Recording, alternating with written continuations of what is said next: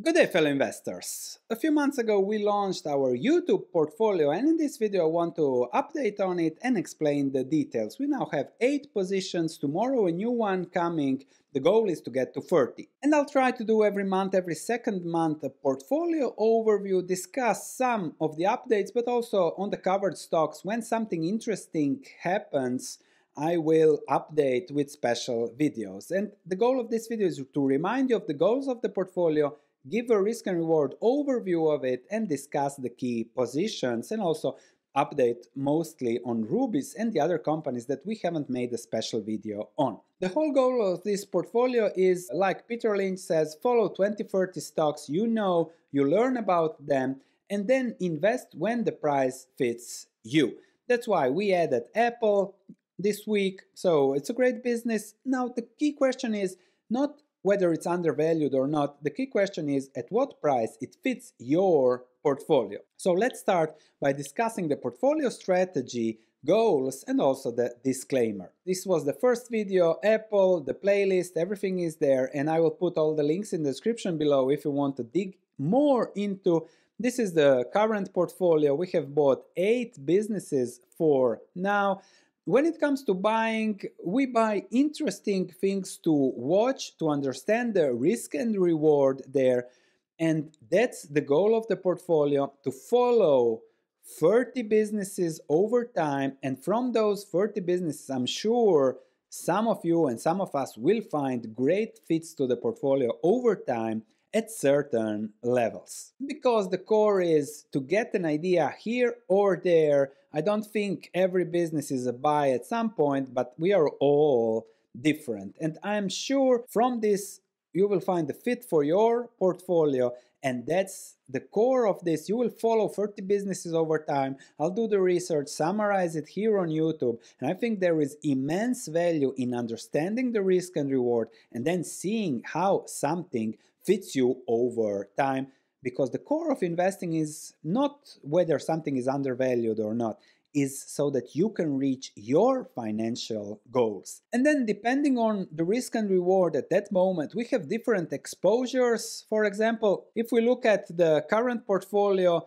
WBD, I bought 30,000, which is, let's say, a full position. We still have one or two buys, 1 million available. We can buy from, let's say, 5,000 to 50,000. Rubis, full position, we'll discuss more now. Gold, there is a strategy, special video, but we started with uh, 15, then we added 10,000. Facebook, also full position because of the risk and reward thesis, we'll discuss now. And then Apple, the recent buy, just 6000 because it looks overvalued but it is a great business. So if it goes down happy to buy more but the exposure also explains let's say the risk and reward. I really think it will be a great educational journey and also a great investing journey and then you will see what fits you over time. I have 30 stocks here 30 to 50 on my research platform and from that environment I'm sure I will find something to invest in over time. I just need one great business a year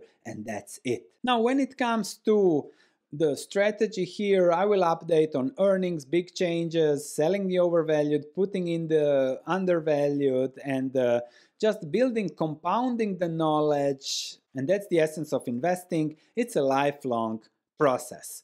The goal is to learn, this is from the first explained YouTube video, and uh, research educational purposes. I'm not a financial advisor, this is just my opinion. And also if we check the demo account I'm using here, this is from Interactive Brokers.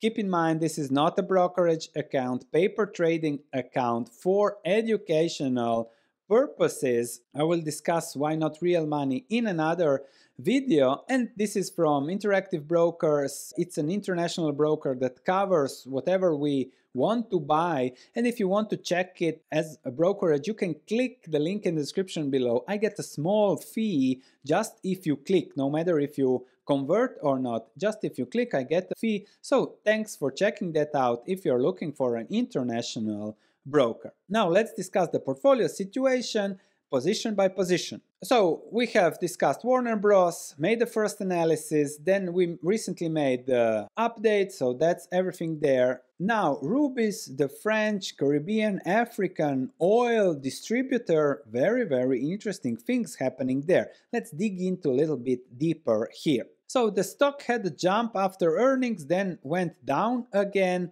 but the activity of the group was very, very positive. All the numbers have been improving, the cash flows have been there with limited capital expenditure, so they are making about 300 million euros a year. If we compare that to the market cap, that is a 15% free cash flow yield. So all well there. They have some debt, which is something to follow. They are investing in other sectors, diversifying. And yes, as oil stocks, it's very important to follow these oil stocks because they really had a great time in 2022. This might revert to the mean, but that's something we follow. For now, it looks extremely cheap and we'll see how it develops over time. When the company discusses they have no relations to Russia, Ukraine, so now volumes were up, people are back to traveling in the Caribbean, Africa and everything.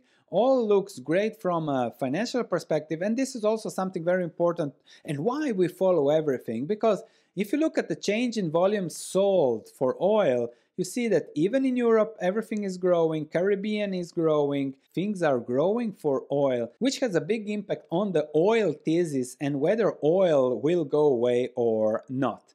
The outlook is very positive for the end of the year, so really good numbers from Rubis. I'll keep following it in the portfolio. You can check again the starting thesis in the description below. Facebook update well, Facebook turned from a growth story into a value investment. So growth story here, now it's a value investment with a low P ratio, so from 30 to 10.